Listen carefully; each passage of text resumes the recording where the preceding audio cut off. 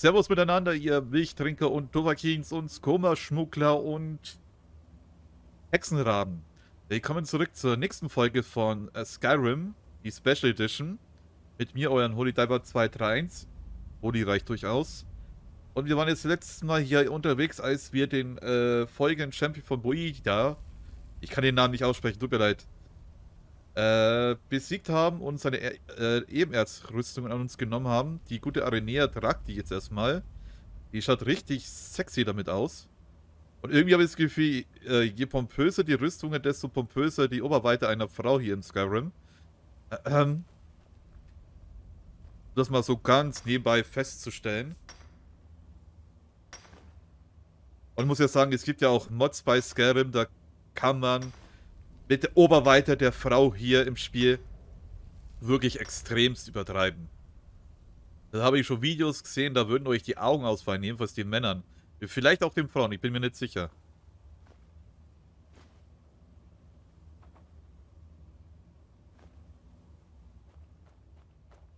So, hier bei den Kaiserlichen auch mal die Eisenerzader mal wegnehmen.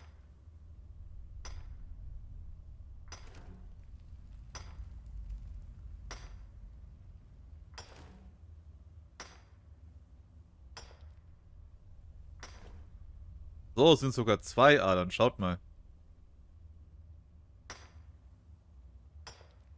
Ich könnte viele Sachen jetzt sagen, ja, mache ich offline, mache ich dies, mache ich jenes. Und ich sag äh, nochmal, was den Loot angeht, da habe ich ja einen Kommentar äh, gelesen bei einem meiner letzten Folgen. Der lautet, man, äh, ich solle doch den kompletten Loot mitnehmen, weil da hat man so, wie sagt man, so ein... Boah, wie heißt das? Boah, ist ähnlich so ein, ein Gefühl, ein äh, Verhältnis mit dem äh, Loot und so weiter. Aber ich sage immer so, wichtig ist, äh, dass man immer abwiegt, was man mitnimmt. Weil einiges ist halt nur unnützer Krimskrams. Deswegen schaue ich jetzt nochmal hier, was ich an unnützen Krimskrams bei mir habe. Die Klinge der Opferung werde ich behalten, so als Andenken an der Quest. Die Kleidung, ja, das müssen wir immer noch machen. Das Nordschild nehme ich natürlich auch mit. Essenstechnisch, das kann er hier lassen, das ist unnütz. Sonstiges waren wir dann hier die Fackeln, weg damit. Lederstreifen nehme ich mit. So, ansonsten haben wir jetzt unnützen Kram rausgeschmissen aus unserem Inventar. So, jetzt schauen wir erstmal runter und nehmen die restlichen Erze mit. Hier haben wir zum Beispiel Corundum-Erz. Kann man alles gebrauchen fürs Schmieden.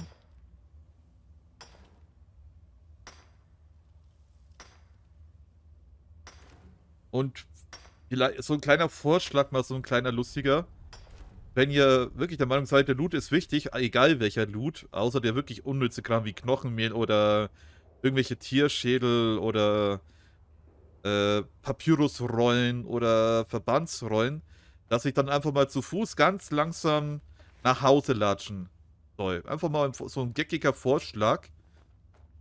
Okay, da hat man eine Skelett halt als Laternenhalter genutzt. Auch nicht schlecht. Natürlich würde mich das quälen, da zu Fuß noch zurückzugehen nach Weißlauf. Ich würde auch keinen Schnitt reinmachen, also sprich, ich würde den ganzen Weg von dem einen Ort bis zum Weißlauf, bis zur Hütte zu Fuß aufnehmen. Und wenn es ein bisschen länger dauert, will ich das Ganze natürlich in Parts aufschneiden.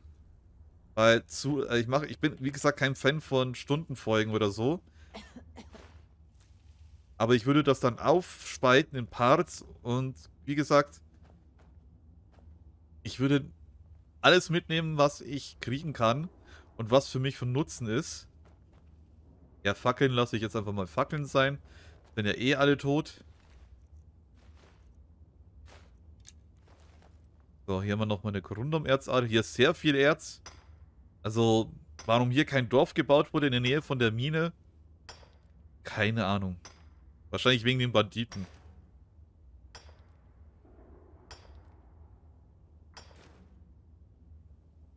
Weil ich habe mir jetzt gedacht, ich habe jetzt so eine schönes, äh, schöne Halskette gekriegt mit 50 Ausdauerpunkten, dass ich vielleicht mehr tragen kann, aber das hat sich als äh, kleiner Irrtum erwiesen.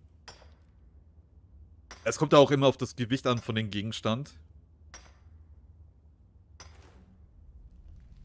So, ja, Orientierung wieder.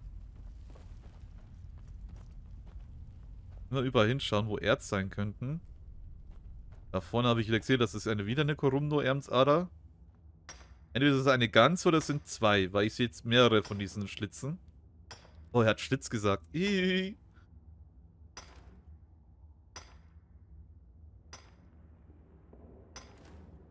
Ja, es sind mehrere, also zwei. Wo kriege ich... Äh, komm. Wo kriege ich die denn hier? Das ist jetzt ein Anzeigefehler? Ich meine, hier ist doch eine Ader, oder? Ah, hier, hier war was. Der ganz pixelgenau hin, hingucken muss. Ganz pixelgenau.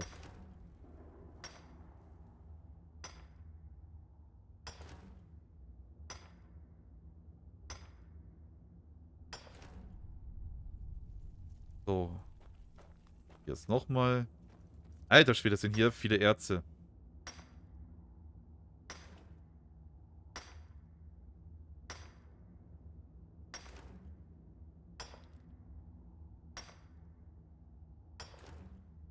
Aber hier ist auch gut, hier haben wir auch gleich einen Schmelzofen, wo wir das Ganze einschmelzen können.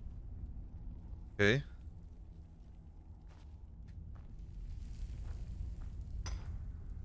Uff, wie ich, seht mal, der, ganz, der ganze Raum ist hier bedeckt mit Erzen. Das kann wahrscheinlich eine erzreiche Folge werden. Ah.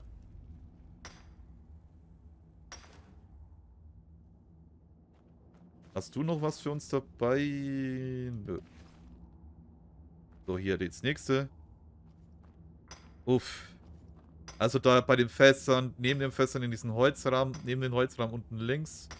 Oben rechts ist auch noch was, da hinten, hinterm Tisch ist auch noch was. Uff, wieso, äh, ganz ehrlich, wieso brauchen die so lange, um Erzabbau zu, ab, abzubauen, die Leute? Weil sie wahrscheinlich sonst nicht bezahlt werden oder so wahrscheinlich. Wenn sie zu, wenn sie zu schnell sind, dann denkt sich wahrscheinlich der Minenvorarbeiter oder der Chef, hey, die sind so gut, äh, der, bei dem brauche ich nicht so viel Zeug zahlen, weil die sind ja fluxfertig.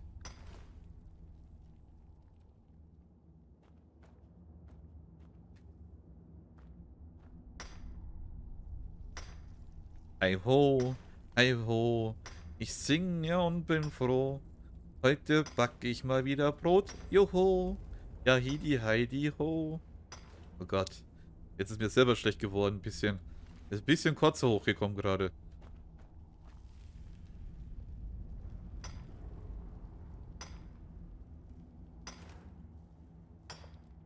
Ich sag ja mal so, das war halt eine schlechte Cover von Schneewittchen und die sieben Zwerge. Hi ho, hi ho, hi ho. Äh, ich bin ein kleiner Disney-Fan, äh, aber sagen wir so nur bei bestimmten Disney-Filmen. Weil, sagen wir doch mal ehrlich, bei jedem Walt Disney-Film, bei jedem, wird immer gesungen.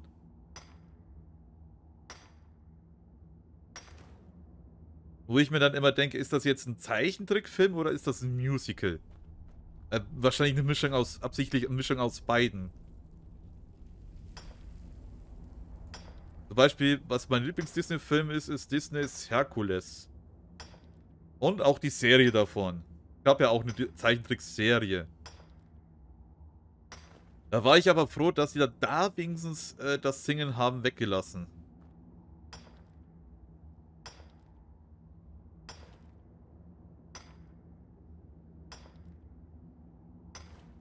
Meine, das war schöne Kindheitserinnerung und schöne kind Kindheit Kinderzeichentrickfilme. Aber ich habe mir immer so gedacht, komm, es muss doch jetzt nicht bei jedem Disney-Film muss doch jetzt nicht irgendwie immer Gesang dabei sein. Das, das muss doch nicht sein. Hier geht's auch nochmal rauf. Genau, da war der, der eine.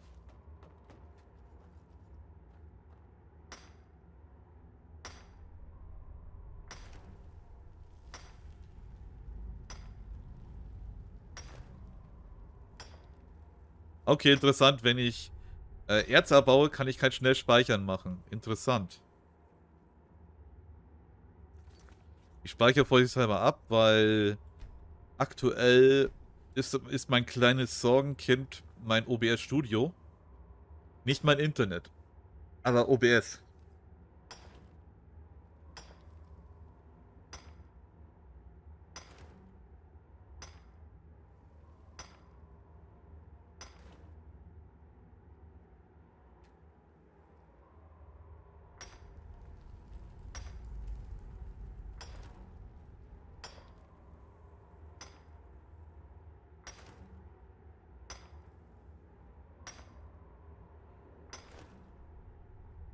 Alter, wie viel, wie viel Gewicht haben wir denn jetzt schon?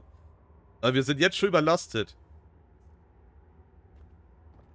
Die Dämmerung behütet uns alle. Was braucht ihr? Also, das, das was uns jetzt am meisten Gewicht zieht, sind die Erze. Jetzt kann sie selbst schon nichts mehr tragen. Oha. Wie viel wiegt denn so ein Ding? Ein Gewicht 16 also und hier 55. Uff. Hey. Bis zum nächsten Mal, Wächter. Ich hoffe, sie kann noch normal gehen. Ja, es sieht so aus, als könnte sie noch normal marschieren. Uff. Nee, da gehe ich wieder zurück. Ich müsste da oben auch noch Erz. Ja, wieder Korundum Erz. Alter Schwede. Das heißt, wenn jetzt da noch mehr Erz ist, bin ich sowieso überladen. Äh, überladen. Und wir sind gerade bei der 11. Minute, also quasi schon bei der 12. Minute. Und maximal gehen meine Folgen immer 25 Minuten um den Dreh. Wenn ich jetzt äh, versuchen täte, noch das restliche Erz, wenn es hier noch was gibt, mitkriegen und ich bin wieder überladen, dann würde ich jetzt dann jetzt schon der Folge mal versuchen, den Weg jetzt mal zurück, zu Fuß zurück zu mal passieren.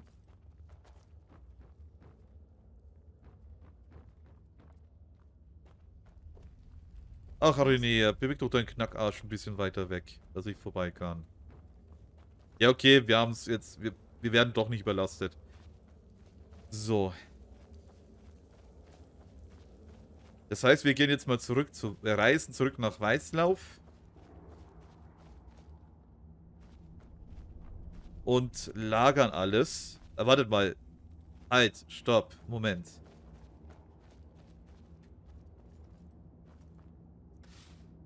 So, das geht halt... Schade, dass ich nicht so machen kann.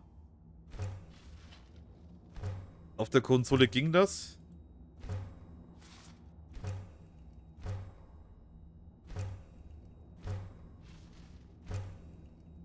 Was ich witzig finde ist, wenn man das Erz zu Baren schmelzt, wie ihr das seht, wird das Gewicht weniger, weil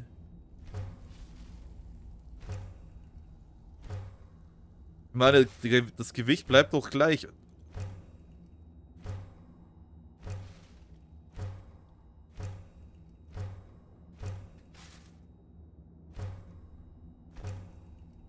Oder sind Eisenbahnen schwerer?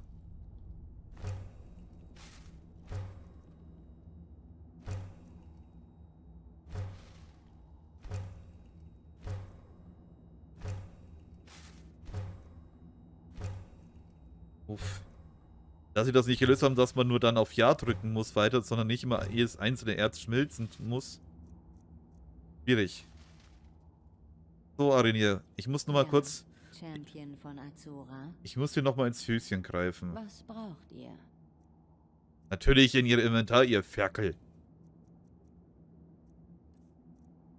Das, das würdet ihr sowieso nicht sehen, wenn ich da Arenir ins Füßchen greife. Das darfst nur sie dann erleben.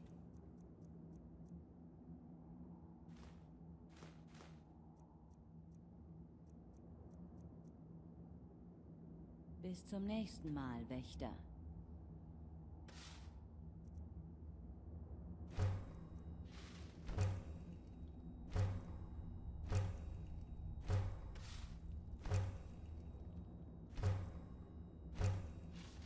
Uff. Uff.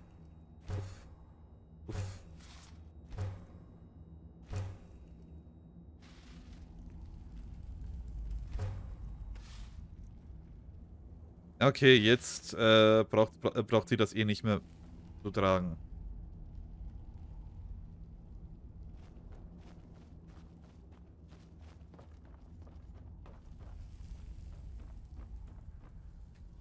Ja, okay, Novize.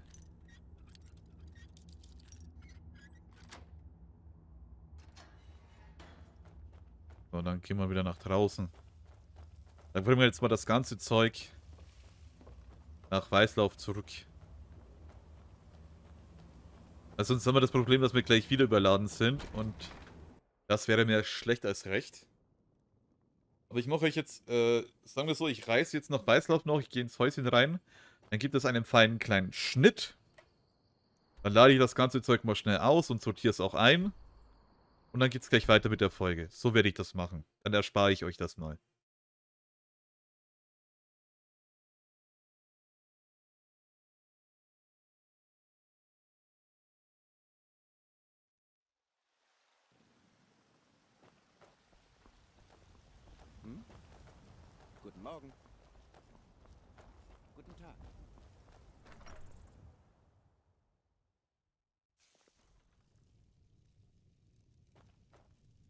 So, meine Freunde, dann sage ich mal bis gleich. So, da bin ich wieder, meine Freunde. Ich habe aufgeräumt, habe die liebe Aus Arenia ausgeräumt. Warum ich so geschnaufert habe, oder jetzt gerade am Schnaufern bin, ich habe gerade mir mal kurz die Beine vertreten, habe mir was zum Trinken geholt, war noch auf der Toilette und da schnaufere ich leider ein bisschen. Uh, einfach ignorieren. Aber ich wollte unbedingt ganz schnell wieder am PC und ich wollte weiter für euch aufnehmen. Weil das macht mir riesigen Spaß. So, da wir jetzt alles aufgeräumt haben,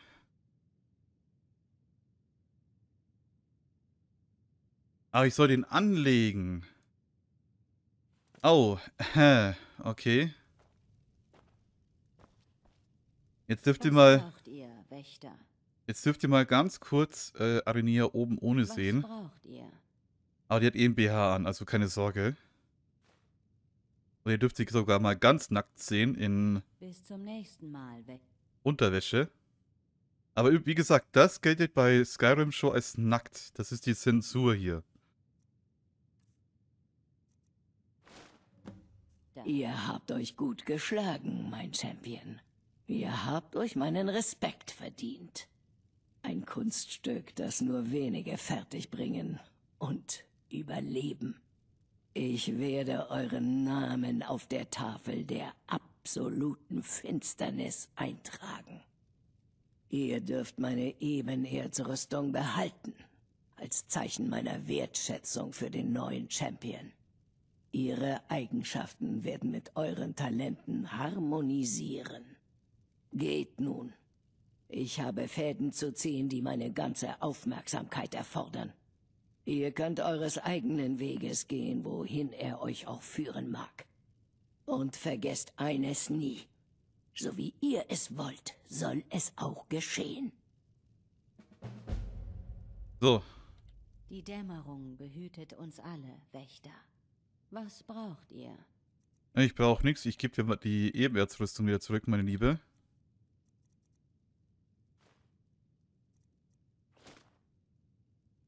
Dass sie sich nicht gewundert hat, warum ich auf einmal nackt bin oder so, weißt? Es war mir eine Ehre, Wächter. So, und dann schauen wir mal, was wir für die nächste Quest machen. Die Angelfreude machen wir jetzt nicht. Hm, nee, das machen wir jetzt auch nicht. Ne, das machen wir auch nicht. Werde voll das Menü dieser Liebesgilde machen wir nicht. Sprich mit den Anführer der Dämmerwacht, das ist auch ein DLC.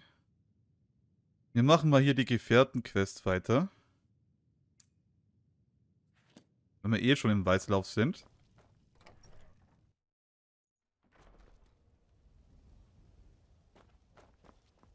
Und dann machen wir erstmal Tag.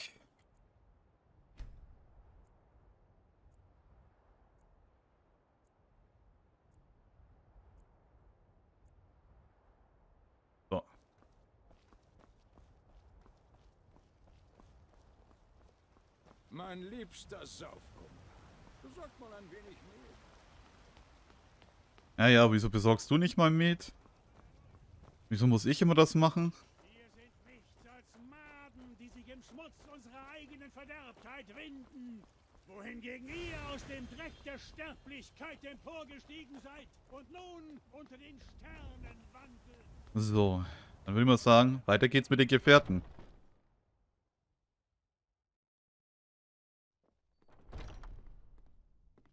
Oh, die sind natürlich da unten wie, das war mir klar.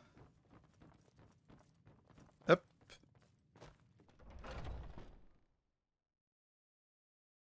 Enjo Waskr, wenn man das ausspricht.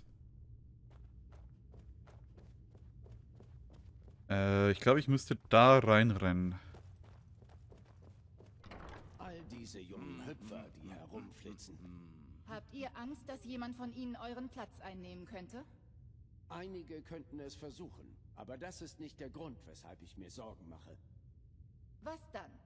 Es könnte sein, dass sie sich so selbst umbringen. Mit eurer Hilfe? So viel Glück könnte man ihnen nur wünschen. Ich habe euren Schild. Hey. Okay. Also gut. Isgram. Ah, gut. Darauf habe ich gewartet. Schön zu sehen, dass ihr es hier hinauf geschafft habt. Welche Art von Wie schon gesagt, das ist der Welpe, den Ich erwähnt hat. kleine, schnelle Klingen. Ah, ja. Ich habe schon gehört, dass ihr ihm eine Tracht Prügel verpasst habt. Lass das bloß nicht Vilkas hören. Sind die nicht langsam? Denkt ihr, ihr könntet es mit Wilkas in einem echten Kampf aufnehmen? Ähm, ich halte nichts von pra pra Prahlerei. Ein Mann der Tat. Hier, Farkas zeigt euch, wo ihr euch ausruhen könnt. Farkas! Habt ihr mich gerufen? Natürlich haben wir das Eishirn. Zeigt diesem Jungblut, wo die anderen Welpen schlafen. Ein Neuling? Oh, ich erinnere mich an euch. Kommt mit. Jupp. Damit. Skjör und Ayela ziehen mich gerne auf, aber es sind gute Leute. Sie fordern uns zu Bestleistungen heraus. Schön, ein neues Gesicht zu sehen. Es wird hier manchmal langweilig. Ich hoffe, ihr bleibt. Das Leben hier kann hart sein. Hier sind die Quartiere. Sucht euch einfach ein Bett aus und legt euch hin, wenn ihr müde seid. Jupp. Thema hält alles sauber. Das hat sie schon immer getan. So, da seid ihr also. Die anderen sind schon ganz gespannt auf euch. Sprecht mit mir oder Ayela, wenn ihr arbeiten wollt. Wenn ihr euch einen Namen gemacht habt, könnt ihr Aufträge von Skjor und Vilkas erhalten. Viel Glück. Willkommen bei den Gefährten. Übrigens, wenn ihr nach einer Beschäftigung sucht. Wir haben Probleme hier im Fürstentum Weißlauf. Nichts Weltbewegendes. Äh, mit welchem Problem muss ich denn rechnen? Nur ein Haufen kleiner Banditen. Feiglinge, bei denen ihr euch nicht anstrengen müsst. Ich kümmere mich darum. Ich wusste, dass man auf euch zählen kann. Tut, was zu tun ist. Übrigens, wenn ihr nach einer Beschäftigung sucht, Okay, ja, ich habe doch schon eine Beschäftigung. Was tötet den Anführer Festung Waldheim? Festung Walheim, wa? Das war das T, das, das streichen wir einfach mal. Nämlich noch einmal Welpe, Opi, dann zeige ich dir mal, was ein Welpe alles drauf hat. Nennt er mich einfach Welpe. Ich glaube, es hakt. Na, wo ist dieser Fall? Äh, manchmal bin ich blinder als ein blinder Drache.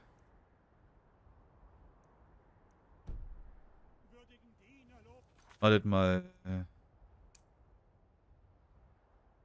Jetzt müsste es dabei stehen. Schauen wir mal, wo ist denn das? Ach, da hinten. Ja komm, dann gehen wir zu den Stellen und dann gehen wir da hin. So.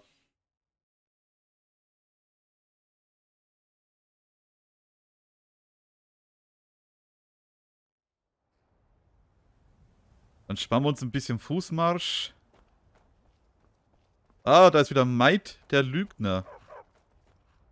Wollt ihr etwas von mir? Hallo. Wir reisen zum Schrein von Kynaret in Weißlauf. Ich habe gehört, der Güldengrünbaum sei schöner denn je, seit er wiederhergestellt wurde. Es heißt, wer die Frucht isst, Füge seinem Leben mehrere Jahre hinzu. Okay, interessant. Dann würden wir uns mal da umsehen, wenn da mal eine Frucht irgendwo liegt oder ähnliches. Interesting.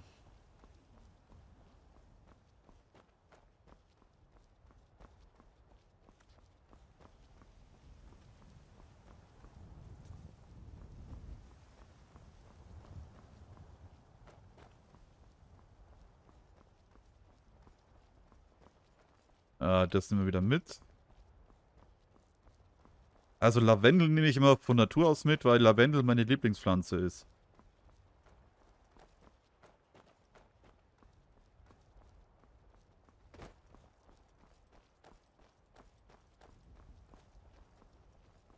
Und nicht Bräu entdeckt. Haben, haben wir das noch nicht entdeckt? What the fuck? Okay.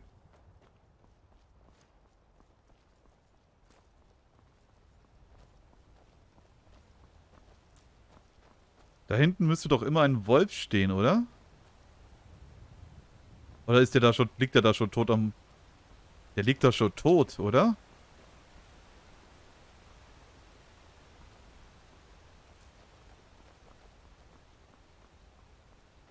Nee, aber ein Skewer liegt, äh, hockt da.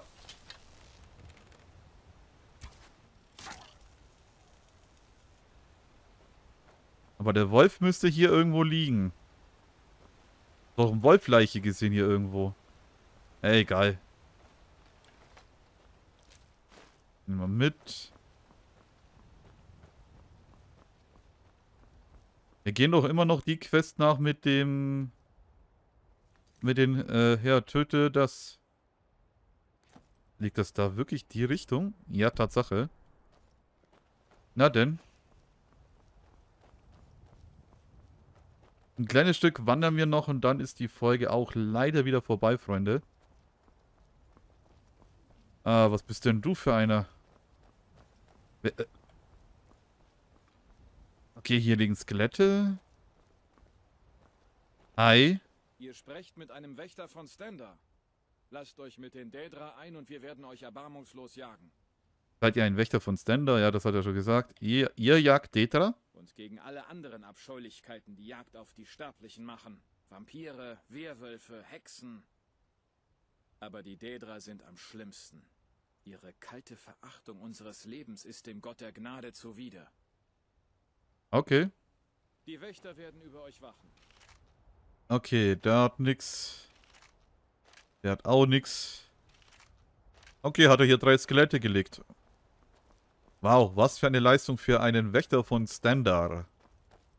Uhuhuhuhu und so.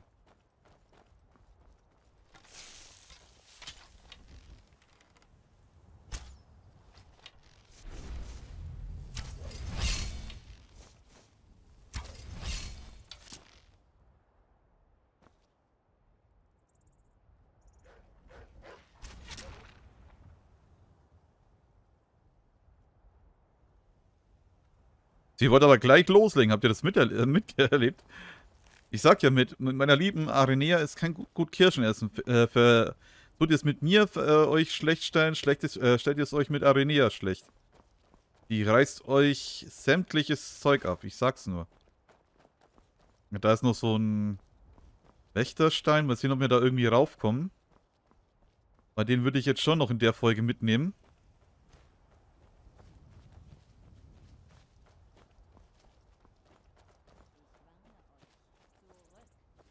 Ja, wenn da jemand schon uns warnt, weißt? Bis hierher und nicht weiter.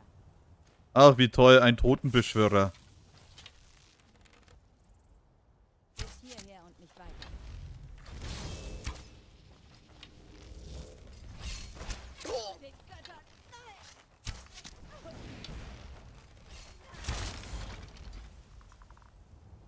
Ich glaube, das war's schon mit ihr. Du feige... Und mein Pfeil zieht ganz gern deinen Hals. Ja komm, die ist es eigentlich gar nicht wert, dass ich nochmal runterhüpfe und raufrenne. Aber ich mach's trotzdem.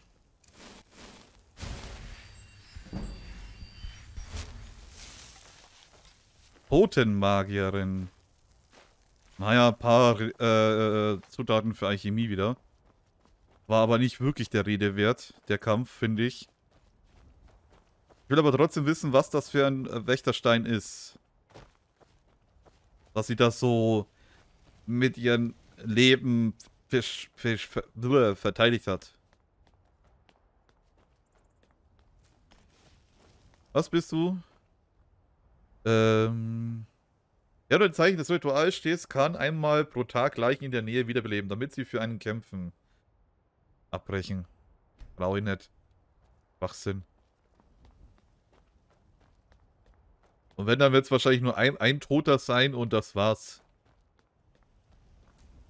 So, meine Freunde, aus mit der Sicht hier auf den Bergen sage ich mal wieder Dankeschön fürs Zuschauen, Dankeschön fürs dabei sein, abonnieren und die Glocke aktivieren nicht vergessen und bis zum nächsten Mal bei Elder Scrolls auf Skyrim, die Special Edition.